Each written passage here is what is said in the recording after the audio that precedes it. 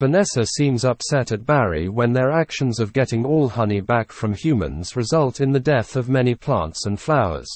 She encouraged Barry to do it and yet she appears to blame him for the entire outcome when it becomes apparent.